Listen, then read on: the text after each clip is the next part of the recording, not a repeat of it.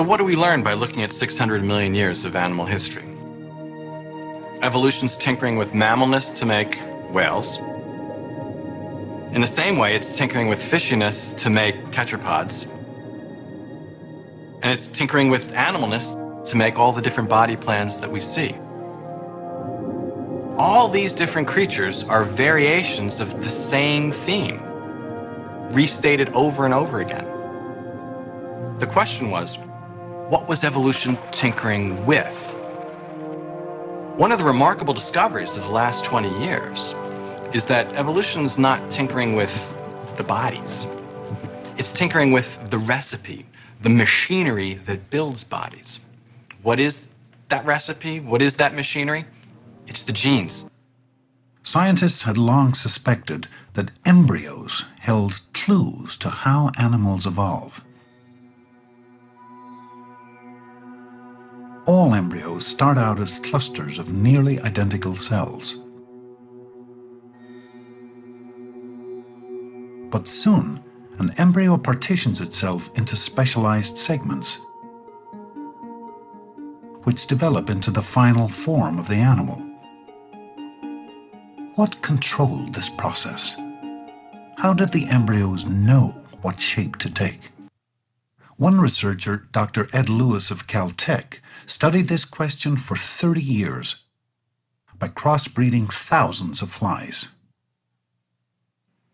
Lewis's work led him to a controversial idea. He proposed that a surprisingly simple mechanism was shaping embryos. He wrote that each segment of the fly was being directed to grow by a single gene a small set of genes, a kind of genetic toolkit, appeared to be laying out the entire body. In 1994, Walter Gehring of the University of Basel isolated the gene that triggered the growth of eyes in fruit flies. The gene was called eyeless because flies without it developed with no eyes. Gehring knew of a gene in mice that worked in the same way. He wondered, were the two genes the same?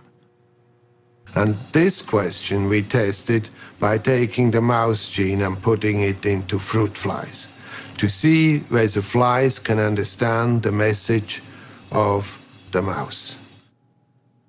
Gehring replaced a fly's gene for eyes with the mouse gene. And to everybody's surprise, the mouse gene works perfectly well and can induce a compound eye in the fruit fly. The fruit fly grew normal fruit fly eyes using a gene from a mouse. Not only did the two creatures use the same mechanism, they used the same gene.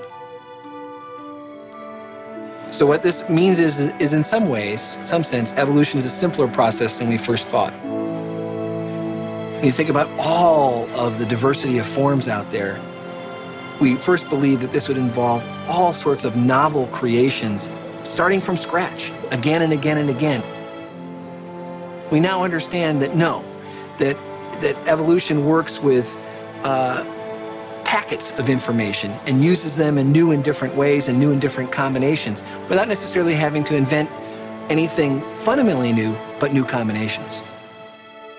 Suddenly, the commonality of form among animals was understood. Animals resembled each other because they all used the same set of genes to build their bodies. A set of genes inherited from a common ancestor that lived long ago. And there's only one inescapable conclusion you can draw from that, which is if all of these branches have these genes, then you have to go to the base of that, which is the last common ancestor of all animals. And you deduce it must have had these genes. So the whole radiation of animals, the whole spring of animal diversity has been fed by essentially the same set of genes.